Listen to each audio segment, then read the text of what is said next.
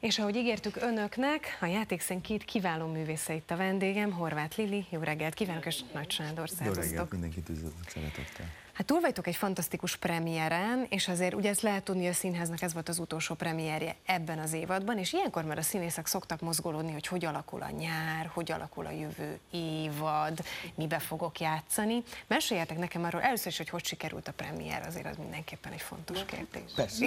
Nagy, nagyon jól sikerült, de nem tényleg, és annyira jó, mert most a Sanyival egy ideje nem találkoztunk, hát egy hete, de Igen. hál' Istennek játsszuk a darabot, mert annyira jó volt a próba folyamat is, hogy, hogy valahogy így érezhető volt, hogy ez jó lesz, de számomra egyébként megdöbbentő, hogy mennyire szeretik, és ez olyan jó érzés. Igen, Csöke Péter rendezte az előadást, és hát ugye Hernádi Judit a főszereplőnk, ö, és tényleg egy nagyon-nagyon jó hangulatú és kedves próbaidőszak volt. Nagyon sokat nevettünk, nagyon sok vicces szituáció volt a próbák közben, és, és hát a, a Hernádi Judit pedig fantasztikus, tehát hogy öröm volt vele minden egyes pillanat, és nagyon szerette a, az egész elő, próba folyamatot, szerette a, magát az előadást, a Péter is nagyon, szóval, szóval ugye vannak gyerekeink a darabban, mert ugye egy házas párt Ők is alakítunk benne, és hát ugye az alapszituáció nagyon röviden, csak hogy ne spoilerezzem a darabot, az az, hogy ugye mi egy hajós nyaraláson megismerkedünk a Hernádi Judit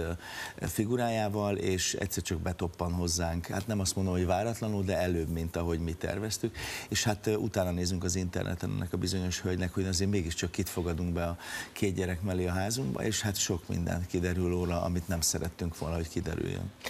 És ez egy érdekes állapot, amikor az ember színészként túl van egy premiéren, mert ugye most már csak az előadások vannak.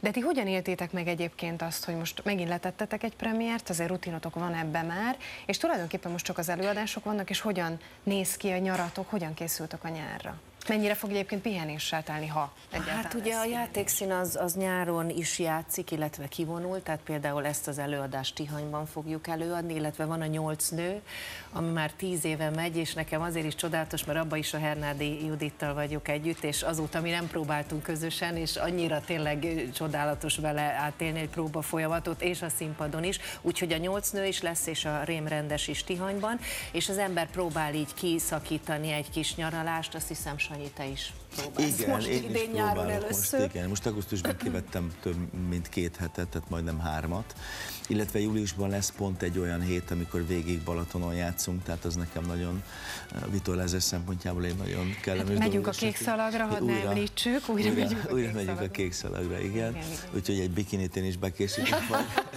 magamnak. Jó, de azt létszés, azt, azt rögzíteném, Az jó? feltétlenül. Igen, és az őszre hogy készültök, és van-e már valami elképzelésetek, tervetek, esetleg tudtok-e már valamit, hogy mi, mi az, ami új premier vár rátok esetleg Az össze? még alakulós, vagy az ember ilyen kokabalából nem mondja, nem? De Igen. lehet, Igen. hogy Sanyi. A játékszínben nekem úgy tűnik, hogy kettő uh, próbaidőszakom is lesz, ha minden igaz, de konkrétumokról még azért nem beszélek, mert nem kaptam rá engedélyt.